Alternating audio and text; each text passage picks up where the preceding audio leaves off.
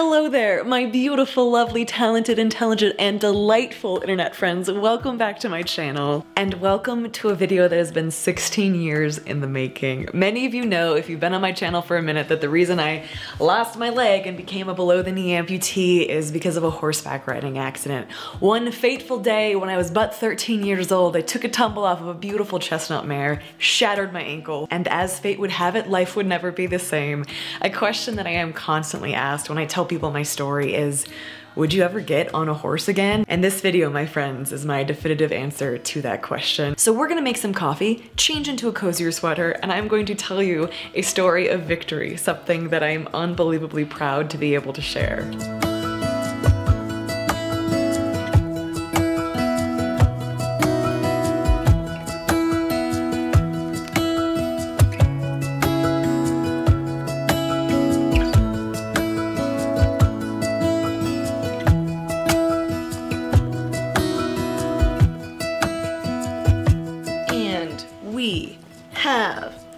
Don't spill. Coffee.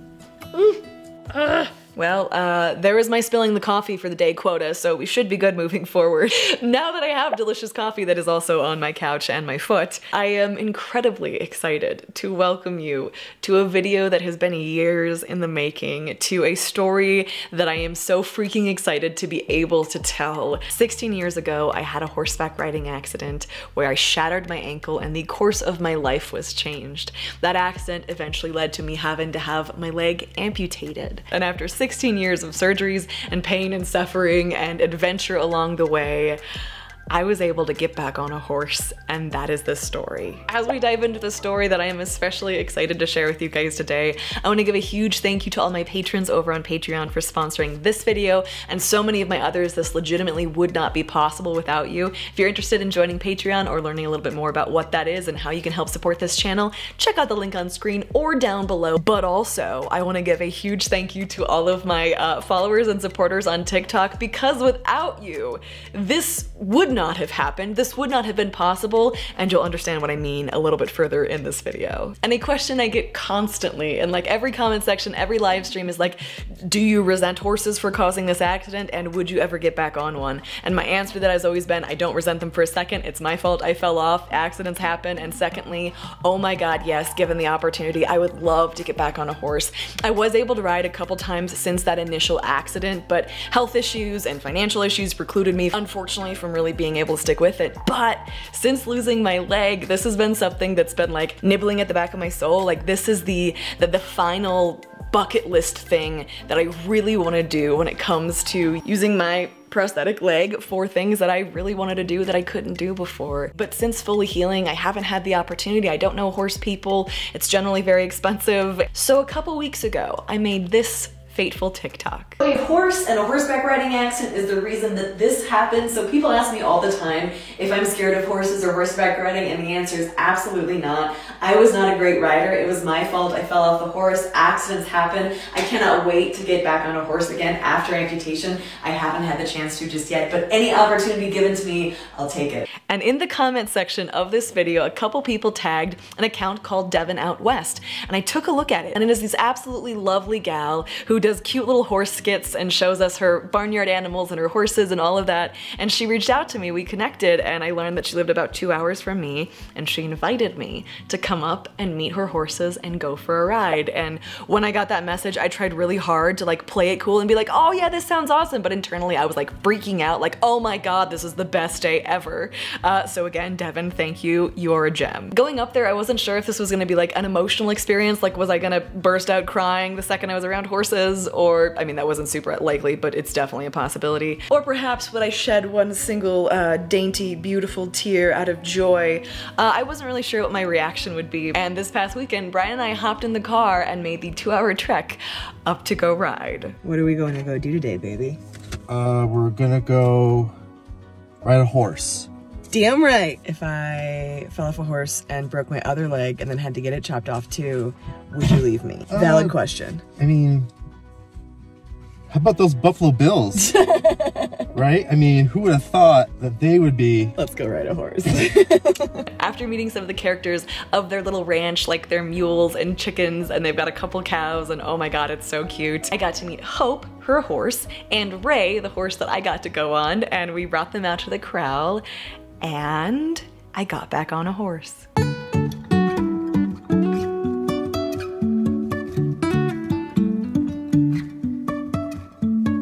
Life is a winding road, no telling where it goes. Driving through days and nights, won't stop for traffic lights.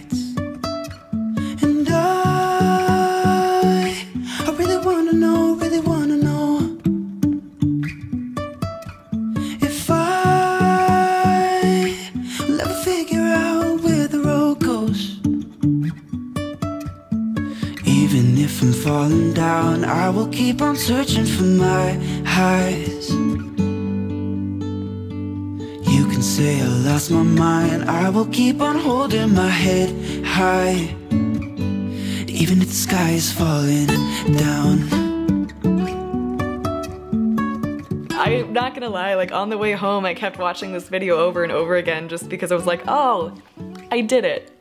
And that felt incredible. We just took the horses walking around the arena a number of times and uh, Ray got excited a couple times and started kind of trotting and I had to pull them back. But even in that, I expected to like feel terror and like yank on the reins and like grab onto the saddle. I'm pretty sure I did grab on the saddle at least once or twice, but uh, I felt really calm and relaxed and just natural being back on a horse. And one of the weirdest things to me was I didn't feel fear. Like even when I've been on or around horses since my accident before amputation, I was like really really, clamped up, like really concerned. And it was like a lot of that fear just evaporated. And I was honestly comfortable being on the back of a horse again, which made no sense to me. Maybe it's because Devin and her dad and her horses are absolutely incredible. I, I'm very willing to give them the credit for this because that's probably what it was. I absolutely had some concerns about getting back on a horse with my prosthetic. Like, would it be uncomfortable for them at all? Would it be able to stay in the stirrup? Like, do I have to have a special riding leg?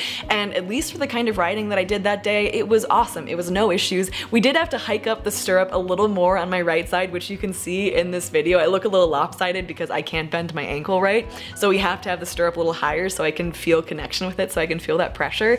But it was like not an issue at all. Like I didn't even notice that I was wearing my prosthetic leg. It was a little bit sore and tender, but it's like that many days, and so it wasn't even a thing. It wasn't even an issue. It was like I had two legs again, Ex except I didn't. I've always known that getting back on a horse for me would mean a lot of different things. Uh, like I said, I never held any resentment against horses or bitterness or anything like that. It was my fault I fell off. I always say that because it's true, but there was some inherent um, additional fear built in because of course this, this event that happened was something that was fairly traumatic and had a very serious impact on the rest of my life. And being able to get back on one of these majestic creatures, I think was just gonna be like a sign to me that um, that I did it, right? Like that I got through all of that and that I'm not carrying anger or resentment. And also just being able to like reconnect with a part of myself that I know has been hanging out there for a very long time, but I've not been able to, to, to access, which is that of the horsey farm girl I am deep down. I also just want to point out the fact that I'm pretty bad at my job because making videos is a large part of what I do for my living.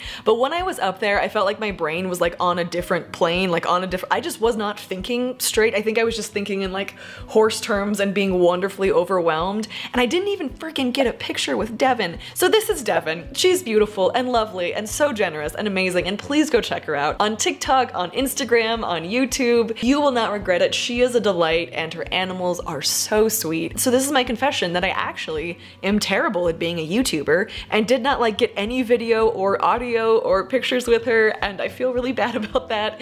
Uh, but my brain did not seem to be working in a direct line that day. So so um, so please go check her out everywhere because she is the only reason this happened and I'm incredibly grateful. Thank you again. I don't want to sound cheesy, but it was just one of those quiet moments of, of victory for me that just brought so much joy of like, yeah, this didn't win. You know, here I am. It's been rough getting here, but uh, now I'm able to get back on a horse feeling a lot better and a lot less pain with a, a, a metal leg that allows me to do these things. And how cool is that? Like, how cool is it that I can get back on a horse, that I am physically capable and mentally able to? And damn, I'm just really grateful. I think I will be uh, uh, reveling in the afterglow of getting to ride for quite some time now, and I hope I have the opportunity to in the near future, as this is something I'd really love safely get back into. But especially to anyone who has watched many of my videos and been along for much of this journey, thank you for being a part of this journey too and for getting me here. It's because of social media that I was able to connect with Devin and connect with her horses. So thank you